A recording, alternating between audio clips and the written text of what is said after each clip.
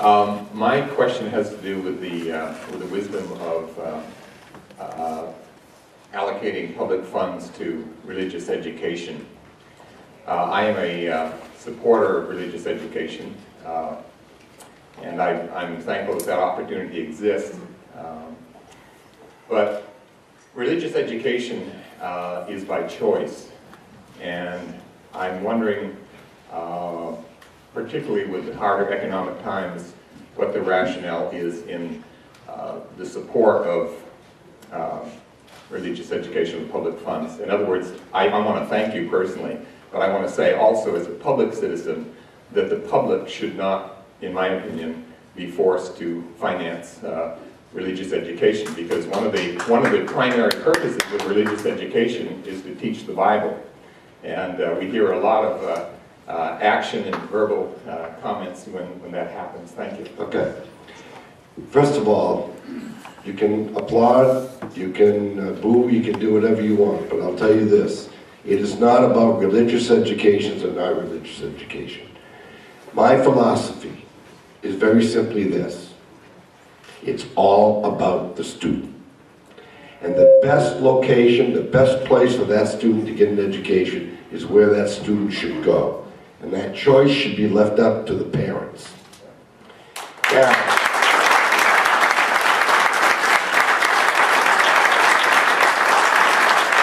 Having said that, every school that will really receive state funding will be a school that is accepted, their curriculum is accepted by the state of Maine and certified that they're providing an adequate education for the students in that school.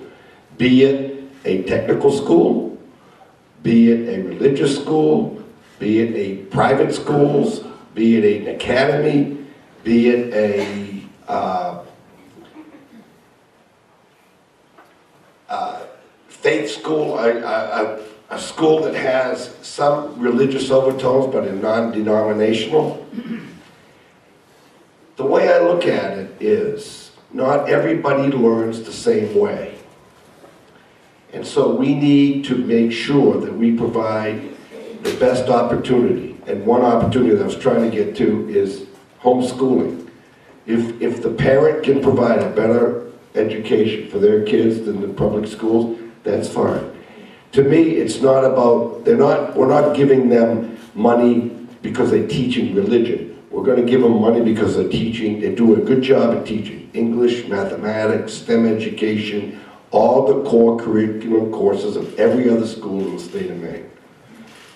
And where does it stop? I was brought up in the 50s when there was no restrictions. We had choice in the state of Maine. Now, someone, I believe in about 1980, said we don't have choice. Let me tell you, the state of Maine, as, a, it, as far as it, we compare with the nation, I would say we're so-so. As a nation, we have fallen to 27th in the world. We're not even in the top 10. So we have been studying that. And I will tell you this, we all say parents should be more involved. Well, if parents need to be more involved, we got to give them some choices and some responsibility. And we need to work with them to teach them on what's best for their kids. Some learn with, some are children are right brain, left brain, some learn with their hands. Others learn by visual. So we got to get every possibility for every child to do the best they can do in this country. And I think if it's religious, so be it.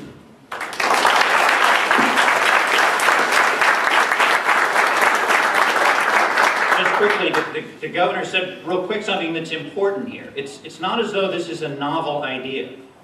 The law was changed in 1981, not 1881. Up until 1981, you could use public tuition dollars. School choice towns that tuitioned their kids to high schools could send those kids to religious schools in Maine until 1981, when the legislature and the then governor made a decision to outlaw it. So this is, and somehow, prior to 1981, we had public schools, The public schools served all of our kids. The sky didn't fall. I mean, you know, this, it, I'm, I'm a little surprised at the kind of sense we're getting from people that somehow this is some revolutionary, earth-shaking idea. Until 1980, 81, this was how it was. You could publicly fund those schools. They were approved for tuition purposes. This didn't mean you could go and hang out a shingle and call yourself a religious school and get public funding. We have a long list of requirements that, that private schools that receive public funding have to abide by, and we're not changing any of that except one line of statute that's about that long that says those schools can't be religious. They, these schools would have to meet every other criteria, just as the governor said. So I would urge people to take a look at the bill, take a look at the statute when we get going on it, look at the history, and let's think about whether we're serious that kids should have the educational setting, access to the educational setting that's going to work best for them. That's what we're talking about.